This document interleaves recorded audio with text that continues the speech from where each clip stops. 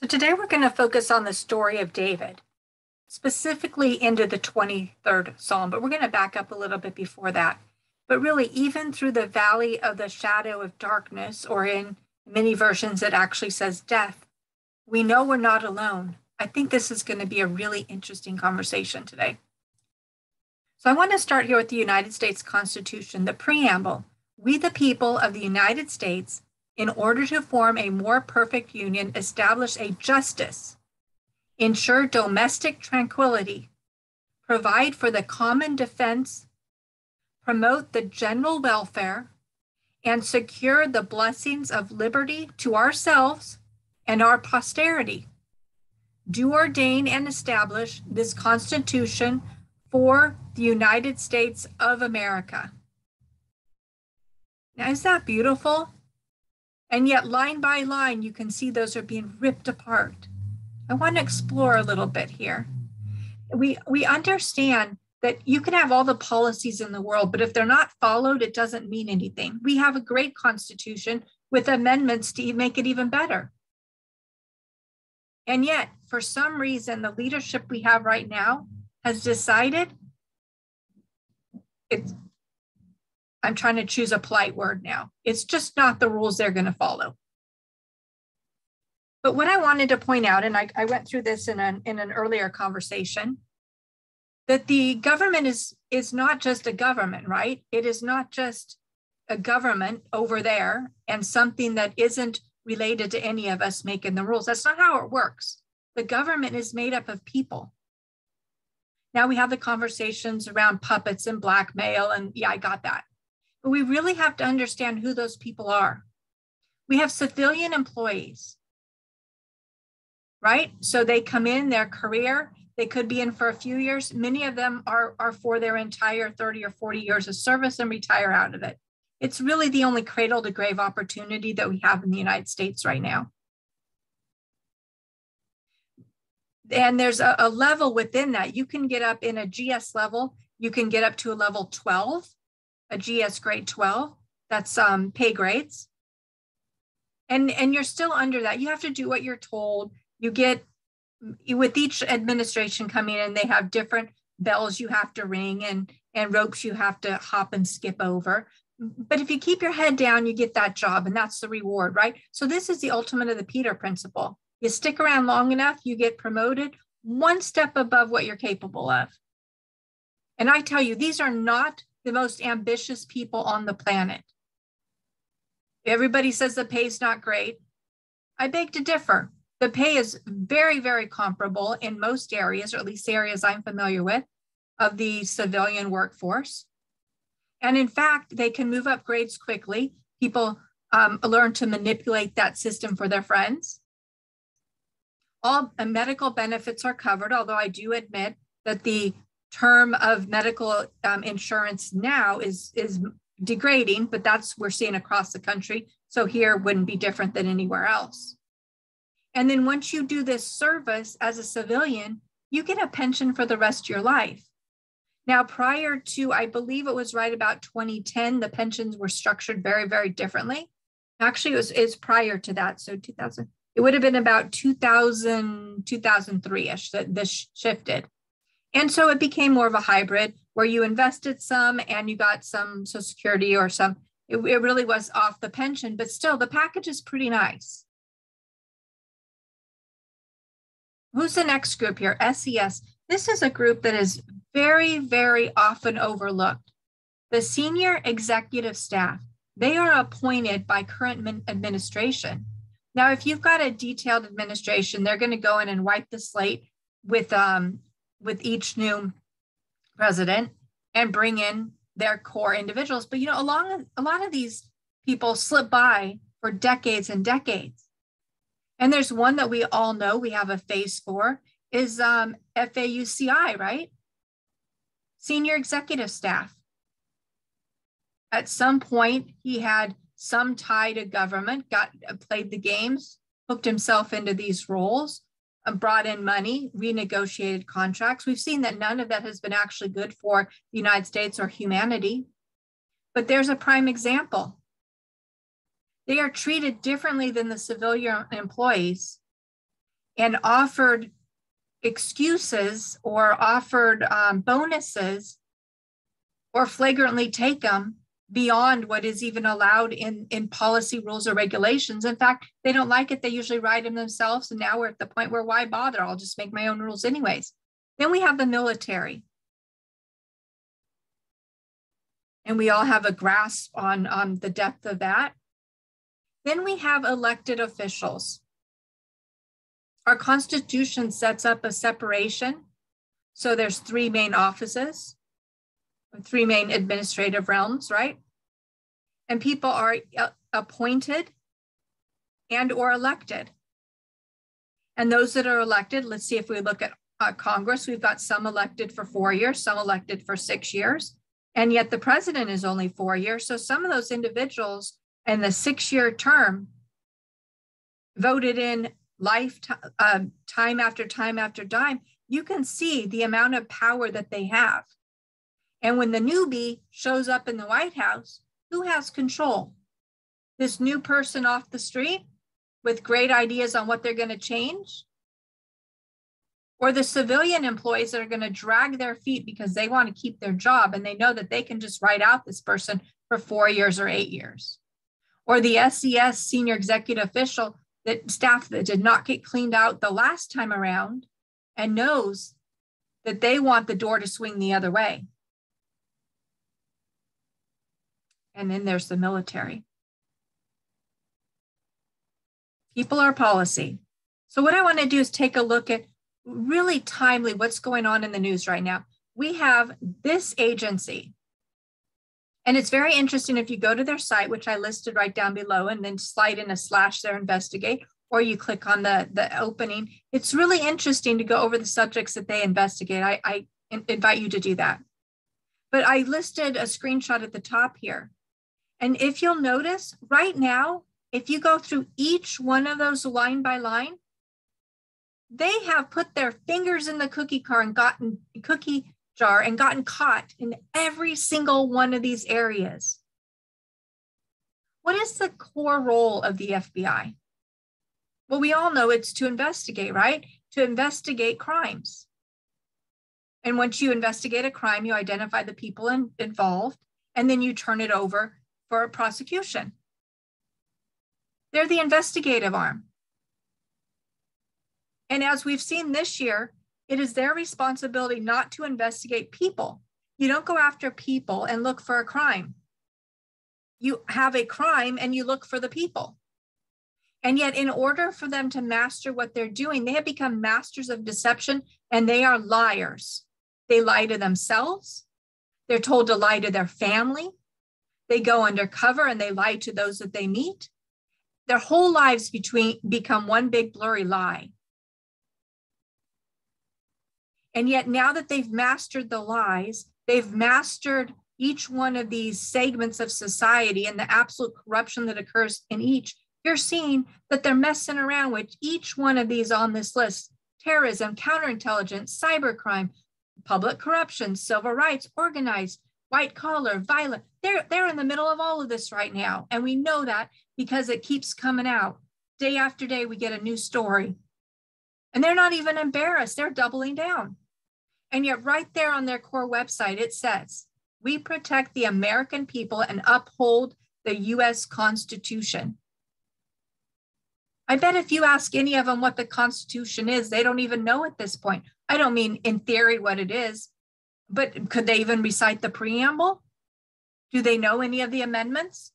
Are they just not even things that get in the way anymore for them? They move beyond it. So, what we do know out of the news is they're excellent at investigating parents at school board meetings because that's where you find the rough ones.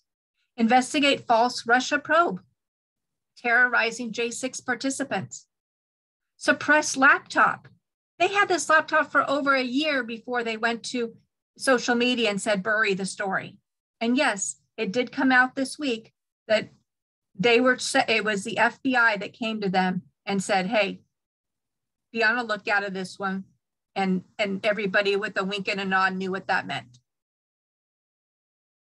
and then of course the absolute boldness of raiding a us citizen over paperwork? I mean, come on, what world do we live in here? What are they investigate? They are investigating a person for a crime, not a crime for a person. People are policy. Now, this was freaky. Any of you are website developers, you don't create an all black website. When I put in this site, I was shocked at, at the darkness. I mean, my skin started crawling looking at this. And the image, uh, which it was an image of a person, so I'm not going to post it here, but just creepy. We are the nation's first line of defense. We accomplish what others cannot accomplish and go where others cannot go. You're right, they do because they lie, they cheat, they steal, they make up their own words. And what we know is they are typically responsible for outside the borders of the United States, right? They handle things around the world protecting the United States, and the FBI typically handles within our borders in the United States. And DHS, Department of Homeland Security, is our borders, whether you're coming in by plane or boat or walking across the border. So that's kind of how that delineation is supposedly supposed to work. But you know what? There seems to be a challenge with our borders. And this agency has been known for years to have a trafficking trifecta. In fact, in an article that I talked about a couple days ago, they were actually referred to as a cartel. Don't you think they get angry if their border is messed with?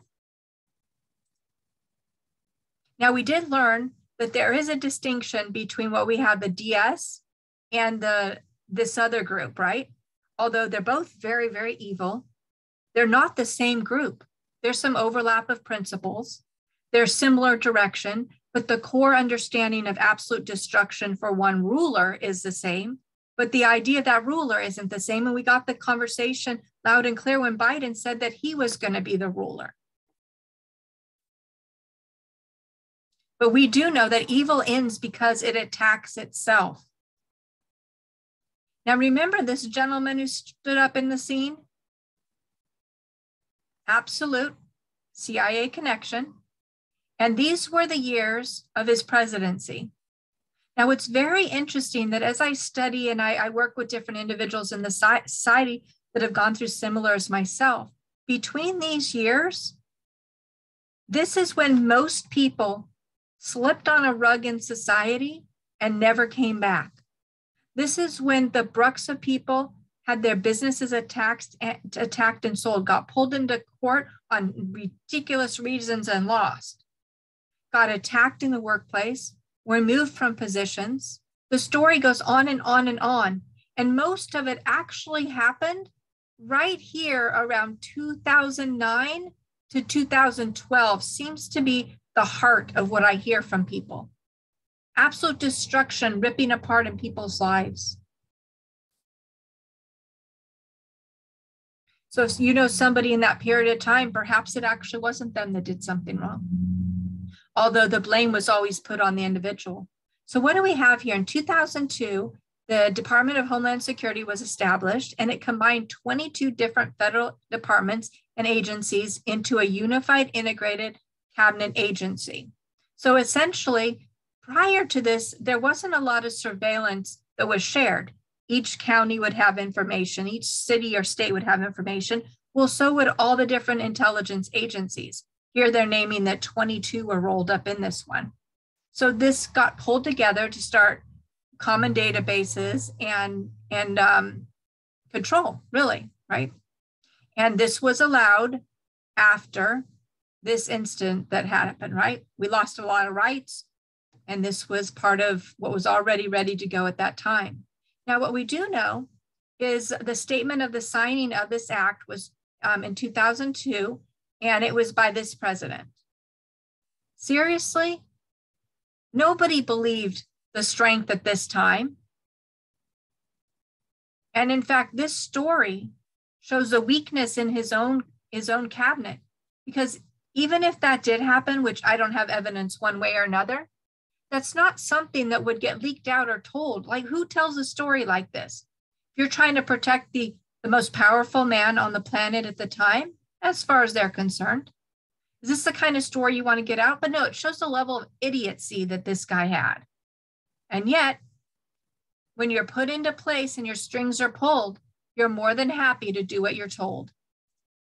Oh, look at this one. We all remember this one. And here it is 76 to 77, director of this agency. Right? Did daddy tell him to do it? So this is not an accident. You're rating this correctly. Psychopathy. Psychopathy is a neuropsychiatric disorder marked by deficient emotional response, lack of empathy, and poor behavioral controls, commonly resulting in persistent antisocial deviance and criminal behavior. This is right from the NIH.gov site. Isn't that interesting? Who else works for the NIH? Narcissistic personality disorder. This was from the Mayo Clinic. Narcissistic personality disorder, one of several types of personality disorders, is a mental condition in which people have an inflated sense of their own importance, a deep need for excessive attention and admiration, troubled relations, and lack, lack of empathy for others. But behind this mask of extreme confidence, so you can you can go on there if you want more. They they do, they stand up as leader, extremely confident. You know, it's often, you know, on a smaller scale, actors are like this, right? On a stage, they're bold and bright and brilliant in front of the cameras. And yet in person, historically, actors have usually been kind of quiet and reserved. They had gone into that profession initially to put a mask on and be somebody else because they weren't comfortable in their own skin. But in this case, we all know these faces. They're better than you. So, why did I bring up those two? Because people are policy. We have said that the nuts are running the, the nut house right now. Policy doesn't matter if the people are literally psychopaths. So, once again, I talked about the border, and I really think that there's a lot of issues going on here. Everything's rolled in here. I think that there's a turn on another. If you are leading an intelligence agency, you want to outdo that agency. And not today you want to get up and, and make a change or be better, but long term, this is a long term. Have you ever gone to a high school, university, or professional ball game? Those rivals run deep. Some people don't even know why the rival started, other than at one day somebody identified that one year somebody identified them as a rival and off they were running and there's absolute hatred sometimes egg being thrown um, toilet paper and it can get really aggressive and yet if in fact this other agency was in charge of monitoring by doing it themselves traffic over the borders and we know the trifecta of what, what was brought in. And then all of a sudden, somebody else says, wait a minute, you have too much control. I want a piece of the pie. Can there be more of a conflict there? So here I do direct uh, you to Oscar Blue. He's on YouTube. He monitors the borders, both the northern border of Mexico, which is, of course, the southern border of the United States, and the southern border of Mexico with Guatemala as well, and does a phenomenal job interviewing and marching with the, the um, migrants and really understanding the whole picture. But then down below here, I'm going to point out in just this very month, there was video of Border Patrol opening gates that were locked by the Texas National Guard, right? They were locking the gate saying, no more, we can't handle it. After they had sent buses up to New York saying, we, we don't have the bandwidth anymore. And New York started complaining, saying, what do we do with these people? So Texas can't absorb any more right now. They can't handle it. So they lock the gates. Their National Guard comes in and establishes a, a border. And yet, Border Patrol themselves, which is DHS, came in and unlocked the gates and greeted them in. That video is available as well. Now, this is interesting. I went ahead and, and searched here United States a failed state. And the answer I got back was not. And then I had to click to find further. I just thought that was very interesting where this came from. and I didn't click on this site. Um, I'm not encouraging you to do that. I don't know anything about them, but I did take time to copy this because it says the United States is not a failed state. It is something much more disturbing. It is a society that has the means, but has decided not to try. This is what we're being told in our manipulation. Really? You're not going to work for me as a slave? Really? You're not going to pay taxes? Really? You're not going to do what I told? This is your fault. You're not trying. Enough with the gaslighting. It says here failed states lack the resources, equipment, and government capacity. Hasn't it been taken from us? Shut down? Supply chain locked in our homes? You try to get around it and you're arrested?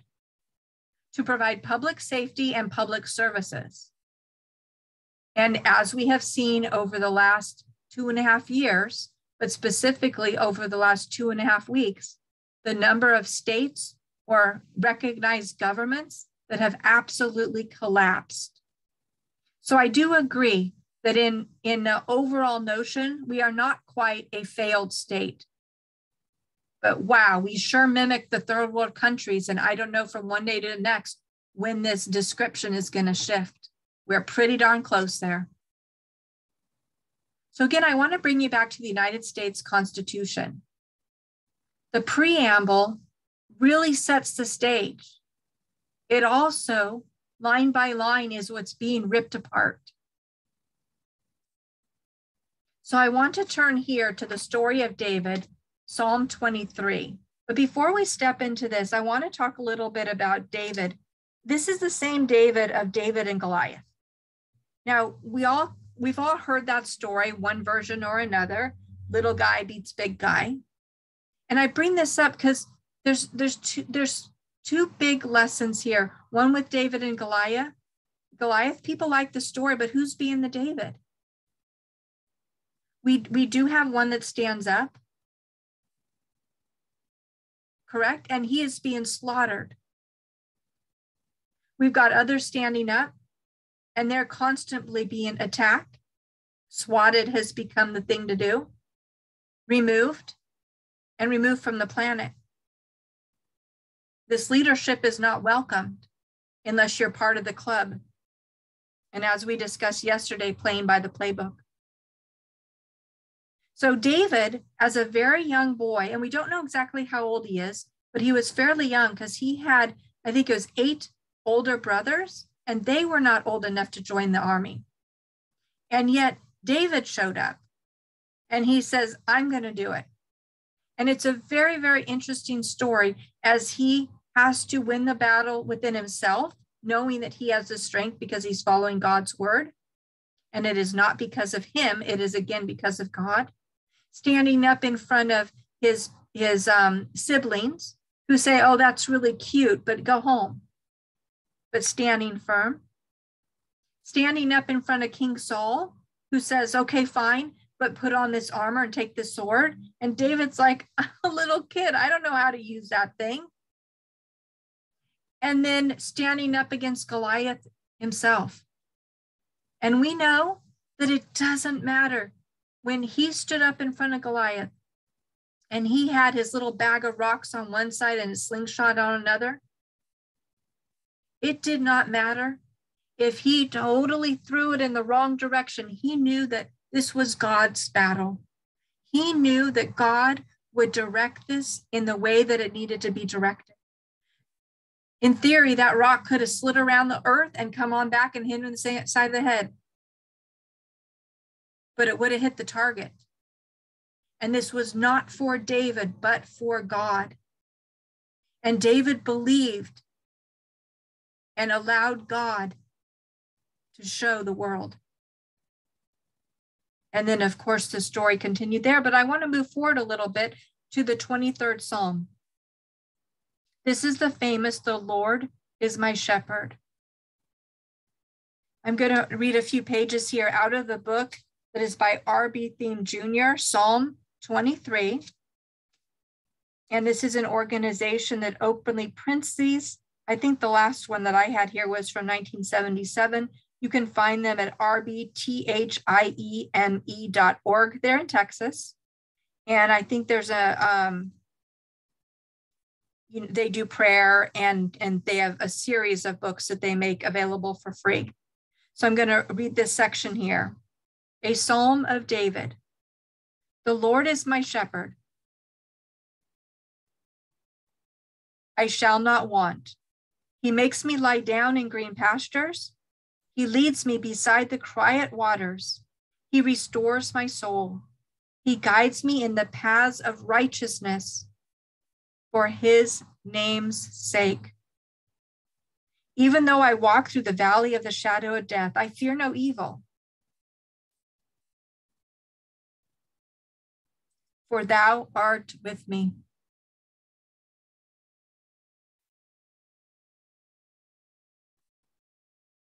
Thy rod and thy staff, they comfort me.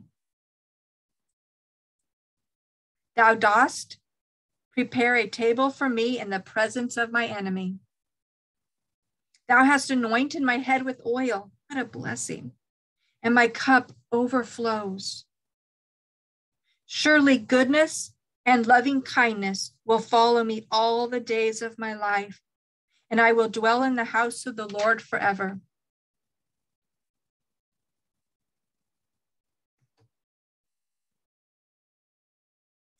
The 23rd Psalm was written by David during one of the darkest hours in his life. Not only had he experienced the unfaithfulness of many of his friends, but now Absalom, his beloved son, his son, had rebelled against him. Absalom had driven David from his palace in Jerusalem into the wilderness, forcing him to flee for his life. David had no army with him, he had nothing but a few faithful followers with only the clothes on their backs and a few provisions. They literally grabbed stuff on the way out the door and ran. In the midst of these, this disaster, David appeared to have lost everything his crown. Remember, this was King David. His own son had betrayed him and driven him out his wealth. He left everything behind. His friends, his loved ones, everything that he had near and dear to him, he lost. Yet in reality, he had lost nothing. As David retreated from Jerusalem over the brook Kidron, up the Mount of Olives, and into the wilderness of Judah, he recalled the Bible doctrine in his soul and wrote these 12 magnificent, magnificent lines of Hebrew poetry. Psalm 23 records David's journey into his own death shallowed valley and gives insight into how a mature believer triumphs over suffering and tragedy. Disasters in life do not change the blessing of the believer who continues to advance spiritually. If anything, blessings are increased in Psalm 23, David recognized that God had a plan for his life. He knew this and that all was not lost. These words of comfort had meaning for David in the in what was known as the Absalom revolution and have application for us as believers living today. Every line in this sacred poem, this divine message, is a remarkable statement of God's grace policy toward the believer in the Lord Jesus Christ. This is the policy. The believer can never earn or deserve anything from God. It's not based on what you do, your actions, how you, what you, it's not. God blesses in grace and God disciplines in grace. All blessings come from God, and all punishments come from God. Our lives never depend on who or what we are, but on who and what Christ is. This psalm is a testimony to grace, grace, orientation, told through three metaphors. Now, I remember when I told you a little bit about David with the David and Goliath, I, I pointed out and reminded you that he had to, within himself, know that he was trusting God.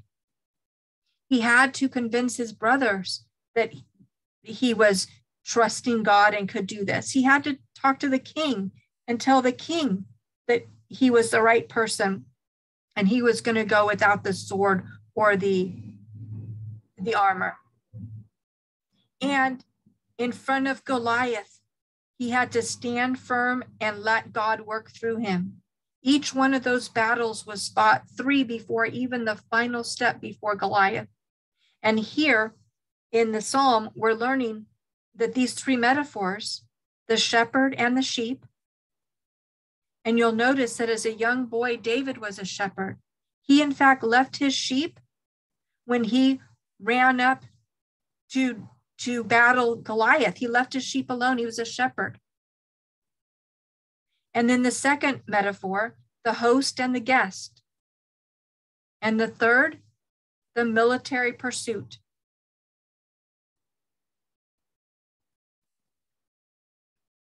So I'll read this one more time Psalm 23, a psalm of David. The Lord is my shepherd, I shall not want. He makes me lie down in green pastures. He leads beside he leads me beside the still waters. He restores my soul. He leads me in the paths of righteousness for his name's sake. Yeah. Though I walk through the shadow, through the valley of the shadow of death, I will fear no evil, for thou art with me. Thy rod and thy staff shall comfort me. Thou shalt prepare a table for me in the presence of my enemies. Thou hast anointed my head with oil, and my cup is running over. Surely goodness and mercy shall follow me all the days of my life, and I will rest in the house of the Lord forever. May God continue to bless America. And may America continue to serve God. Amen.